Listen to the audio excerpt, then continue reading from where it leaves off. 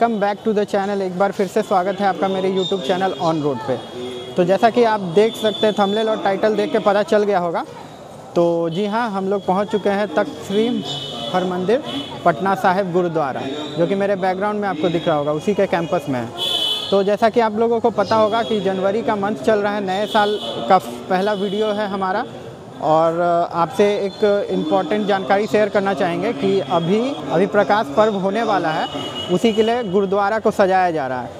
तो हम आ चुके हैं गुरुद्वारा और यहाँ का पूरा व्यू आपको दिखाएँगे और प्रकाश पर्व कब से कब होने वाला ये टोटल जा, जानकारी देंगे। तो पूरा वीडियो को पूरा देखिएगा। तो वीडियो को शुरू करने से पहले एक छोटा सा रिक्वेस्ट होगा। नीचे में आ, आ रहा होगा लाल कलर का सब्सक्राइब का बटन तो सब्सक्राइब कर लीजिए और इधर मेरा इंस्टाग्राम आईडी तो वहाँ भी फॉलो कीजिए पटना और बिहार की लेटेस्ट अपडेट के लिए। तो चलिए इस वीडियो को स्टार्ट करते हैं।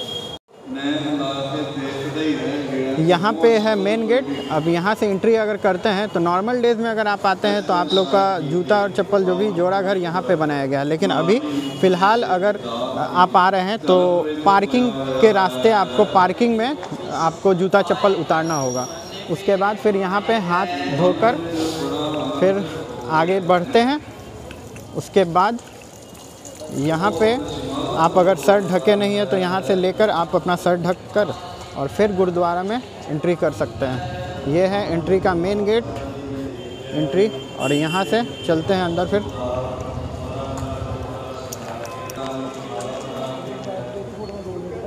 तो आ चुके हैं फाइनली गुरुद्वारा के अंदर कैंपस में, जैसा कि पीछे दिख रहा होगा। और मेरे साथ एक भाई है है जो जो कि इंस्टाग्राम पे बहुत दिन से हम लोग एक दूसरे को फॉलो करते हैं। हम एक बिहारी के नाम से इनका इंस्टाग्राम आईडी है। और इन्हीं के थ्रू हमें सारा इधर का जानकारी मिल जाता है कि क्या हो रहा है और क्या हो, होने वाला है। तो प्रकाश पर्व का पूरा जानकारी यही देंगे। तो बताइए हमारे व्यूअर्स को प्रकाश पर्व कब से कब स्टार्ट होने वाला है और कब आ सकते हैं प्रकाश पर्व को घूमने के लिए? मेन फ़ंक्शन तो सात से नौ के बीच है नौ को जुलूस है और आठ को यहाँ पर कीर्तन होगा। तो अभी क्या चल रहा है फ़िलहाल अभी बस तैयारियाँ चल रही हैं शुरुआत लोग आ रहे हैं पंजाब से लोग और देश भर से यहाँ पे लोग आते जा रहे हैं। तो मतलब अभी से आना शुरू हो गया है हैं सब लोग आना शुरू हो चुके हैं। अच्छा। अगर आपको घूमने का समय है क्योंकि कोविड के टाइम में भीड़ बहुत बढ़ जाता है तो बेहतर है कि आप छः तारीख के आसपास आएँ या सात को आए। चीज़ें तैयार हैं सजावट तैयार हो चुकी है यहाँ पर। अच्छा तो मतलब कि भाई के अनुसार कि अभी प्रकाश पर्व का तैयारी चल रहा है छः सात से नौ के बीच मेन फ़ंक्शन हाँ। सात से नौ के बीच में मेन फ़ंक्शन है उससे पहले भी आ सकते हैं लेकिन मेन फ़ंक्शन सात से नौ के बीच में है और उसके बाद नौ को जुलूस। नौ को जुलूस नौ को जुलूस है। तो आइए देखिए और हमारे पटना साहेब और पटना को घूमिए बाहर से आ रहे हैं तो देखिए कि कैसा होता है हमारे यहाँ का प्रकाश पर्व। और चलिए आगे और चलते हैं और पूरा गुरुद्वारा साहेब और कहाँ हम लोग जाने वाले हैं? बाल लीला जाने वाले हैं। बाल लीला बाल लीला इसी गुरुद्वारे के पीछे में है वो भी आपको दिखाएँगे तो वीडियो को पूरा देखिएगा। ये है मेन रास्ता जहाँ से आप गुरुद्वारा साहिब में अंदर जाके दर्शन कर सकते हैं। यहाँ से जाने के बाद आपको अगर दर्शन करने के लिए मेन गेट आगे से लेफ़्ट में है। और अगर यहाँ पे प्रसाद लेना चाहते हैं तो प्रसाद घर यहाँ पे होगा, जो कि राइट साइड में काउंटर बना हुआ है। यहाँ पे प्रसाद घर है। उसके बाद यहाँ पे मेन गुरुद्वारा का एंट्री यहाँ से यहाँ से है, जो कि कुछ लोग जाते हुए दिख रहे होंगे। आइए चलते हैं, वहाँ आपको ले चलते हैं, दिखाते हैं।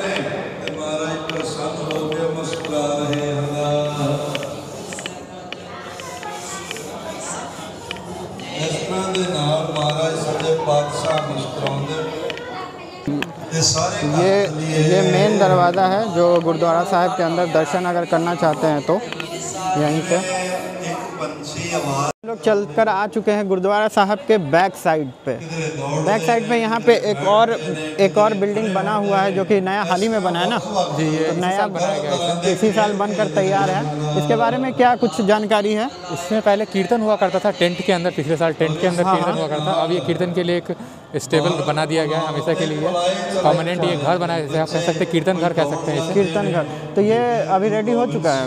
ये रेडी हो चुका है। अच्छा तो चलिए अंदर चल के भी देख लेते हैं। व्यू और तैयारियाँ अभी इसमें सजावट की चल रही है। ठीक है अभी तो कंप्लीट ही है ऑलमोस्ट थोड़ा सा सजाया जा रहा है बस अंदर चल के देख लेते हैं अंदर का व्यू कैसा है। ये नया बना है कीर्तन घर।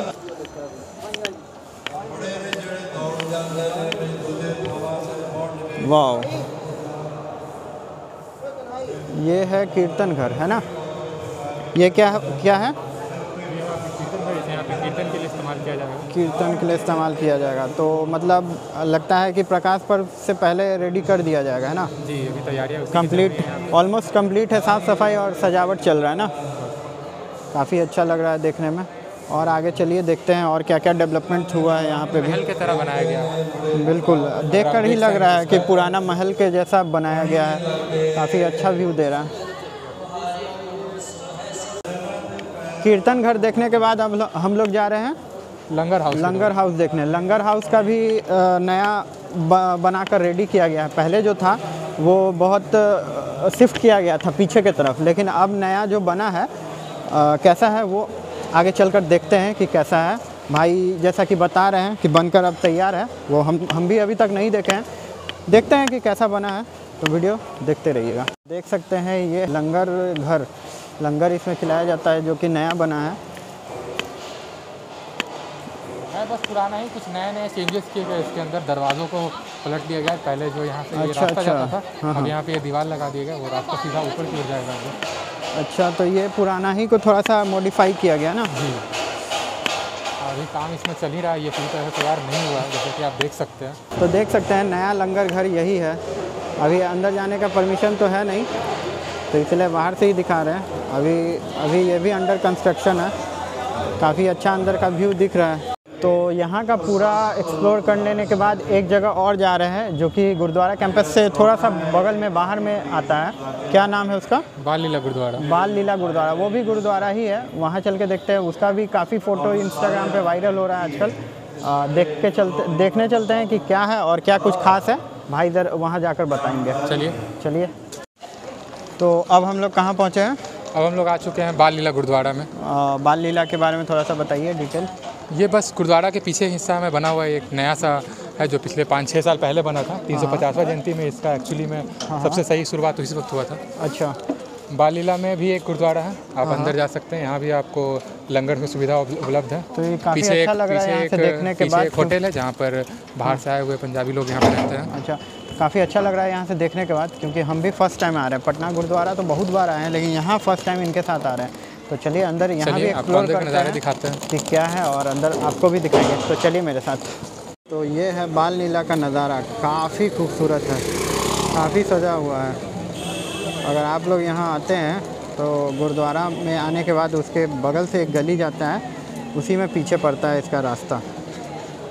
ज़्यादा जानकारी के लिए किसी से भी पूछ लेंगे। कोई भी बता देगा बाल लीला का रास्ता जस्ट बगल में है।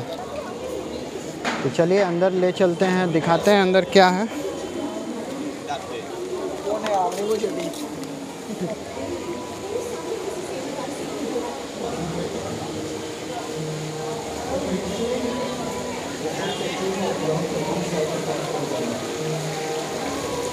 तो ये है बाल लीला का कैंपस, देख सकते हैं, काफ़ी खूबसूरत है, जो कि सजा हुआ है। देख सकते हैं, काफ़ी ज़बरदस्त व्यू आ रहा है यहाँ का यार।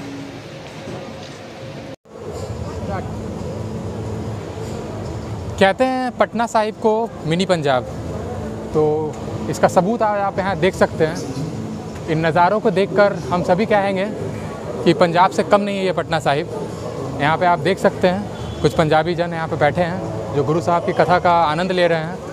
पीछे वो होटल का प्रांगण है, जहाँ पे बाहर से आए पंजाबियाँ ठहर रहे हैं। तो बालगिरी के बाद अब हम लोग चलेंगे बाल लीला गुरुद्वारा की ओर। ये गुरुद्वारा भी उस गुरुद्वारे से कम नहीं आप समझ सकते हैं। पीछे लंगर घर भी है। ये लंगर यहाँ पर 24 घंटे चालू रहता है। उस वहाँ पे तो समय है, शाम और सुबह दोपहर का, लेकिन यहाँ पे हर वक्त ये लंगर चालू रहता है। जैसा कि आप अभी भी देख सकते हैं, पीछे ये लंगर का कार्यक्रम चालू है। तो चलिए फिर चलते हैं हम लंगर घर की ओर।